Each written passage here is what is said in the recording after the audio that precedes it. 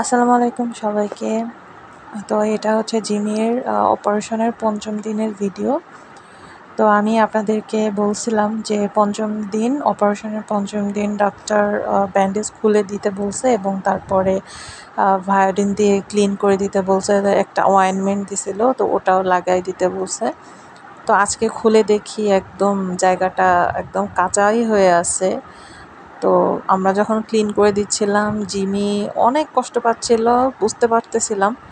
ও অনেক গা হচ্ছে ঝাড়ি দিচ্ছিল মানে ওর কষ্ট হচ্ছে, আমরা তো বুঝতেই পারছি, কারণ একটা কাটা জায়গা।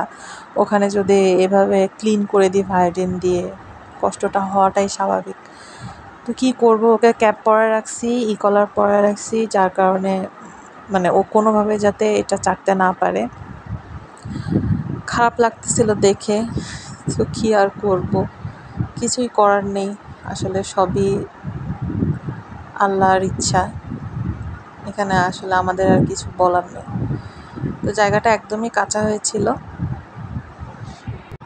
তো প্রথমে হচ্ছে ভাইটিন দিয়ে আমরা ক্লিন করে নিচ্ছি। তারপর এটা শুকায় গেলে দেন হচ্ছে আমরা অয়েনমেন্ট লাগাই দিব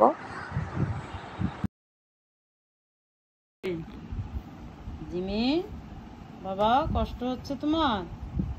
ভালো হয়ে যাবে, আল্লাহ তোমার ভালো করে দিক। তুমি বোঝো নাই, লাভ দিছো ছাদের থেকে। হুম? পাখি, দেখি, কই? আব্বু, মন খারাপ করে না, তুমি ভালো হয়ে যাবা। কত বড় একটা সার্জারি হয়েছে তোমার। তুমি চিন্তাও করতে পারবে না কত বড় সার্জারি হয়েছে তোমার। তো জিমির মুখটা তো দেখতেই পেলেন যে কেমন মানে কষ্ট সহ্য করে আছে ও। মানে আমরাও মাঝে মাঝে অবাক হয়ে যেতাম যে আল্লাহ আসলে ওকে অনেক ধৈর্যও দিছে। না হলে এইভাবে এত কষ্ট সহ্য করে ও যে আছে চুপচাপ মানে ও আমাদের একদমই বিরক্ত করেনি। সব কষ্ট নিজে নিজেই রাখছে এবং আমাদেরকে কোনো ধরনের বিরক্ত করেনি। কি আর বলব? আমার জিমির জন্য সবাই দোয়া করবেন। তো তারপর এভাবে আমরা ওটাতে ভাইরিন দিয়ে ক্লিন করে অয়েনমেন্ট লাগাই দিচ্ছিলাম। ও ক্যাপ পরানো না থাকলে ও আসলে এই জিনিসগুলো করতে দেয় না। তো যার কারণে আমরা ওকে ক্যাপ পরায় রাখছি আর ক্যাপ পরায় রাখলেও একটু ঠান্ডাও থাকে। তো জায়গাটা একদমই কাঁচা। তো এখন তো একদম ক্যাপ ছাড়া ওকে রাখাই যাবে না। একটু চাটলে অনেক সমস্যা হতে পারে, হিতে বিপরীত হবে। তো যাই হোক, চোদ্দ দিন পরে ওকে নিয়ে যেতে বলছে ডাক্তার। চোদ্দ দিন পরে সেলাই কাটবে।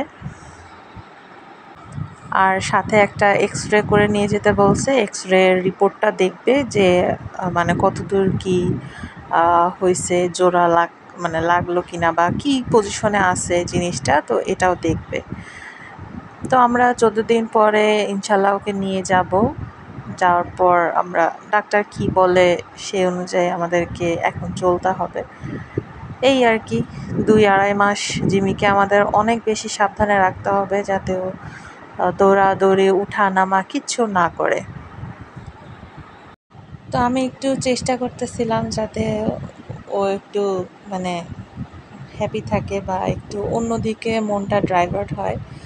তো কিছুতেই হচ্ছিল না।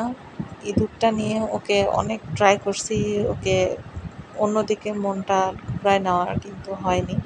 আসলে যার কষ্ট সেই তো বোঝে। ওই আসলে ওর ভেতরে কি হচ্ছে, ওই ভালো জানতেছে। আর জায়গাটা যেহেতু একদমই কাঁচা হয়ে আছে, তো ব্যথা জলা এটা তো থাকবেই। এটা স্বাভাবিক।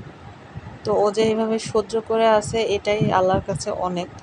যে আল্লাহ তালা ওকে এতটুকু ধৈর্য দিছে আর অপারেশনের জন্য যেহেতু ওর হাতের অর্ধেক লোমগুলো কেটে দিছে এবং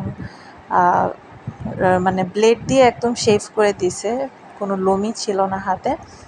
তো এর আগে আমরা জিমিকে নিউটার করাইছি। তো নিউটার করানোর সময় যেটা হয়েছে যে এই লোমগুলো কাটার জন্য ওর স্কিনে হচ্ছে চুলকাইছে অনেক। মানে অনেক ইরিটেটিং হতে হয়েছে, যার কারণে ওর নিজের নিজের স্কিন অনেক চাটছে। চেটে চেটে জায়গাগুলোকে ঘা বানায় ফেলছে। তো তখন ডাক্তার আমাদেরকে বলছিল যে যে জায়গাগুলোতে পশম কেটে ফেলছে, তো ওইসব জায়গায় একটা মলম দেওয়ার জন্য অ্যালার্জির একটা মলম। তো ওটা দেওয়ার পরে তো তখন হচ্ছে ওর চাটা একটু কমছিল। আর এখনও আমরা সেটাই করব। স্কিনে যেখান থেকে মানে পশম নাই যেসব জায়গায়, তো ওইসব জায়গায় ওই মলমগুলো দিয়ে রাখব। যার কারণে ওর এই জায়গাগুলো একটু কম চুলকাবে।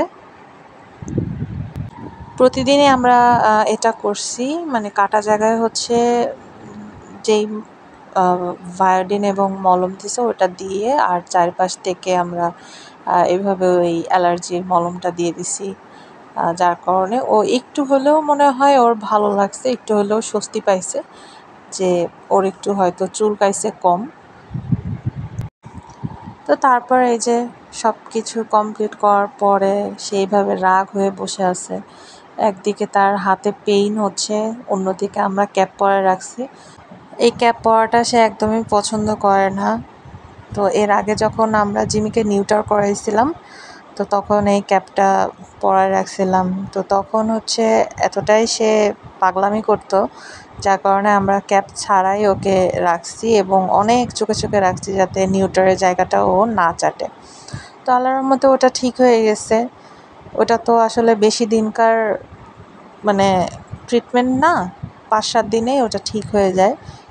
কিন্তু এটা তো অনেক একটা বড় লং জার্নি জিমির। উপরের ঘা তো আল্লাহর রহমতে সারবে আজ হোক কাল হোক সেরে যাবে, কিন্তু ভেতরের যে রডটা, ভেতরের যে হাড়টা, ওটা জোড়া নিয়েই আমাদের যত চিন্তা এবং ডক্টরেরও তাই। তো দেখা যাক, আল্লাহ ভরসা কী হয়।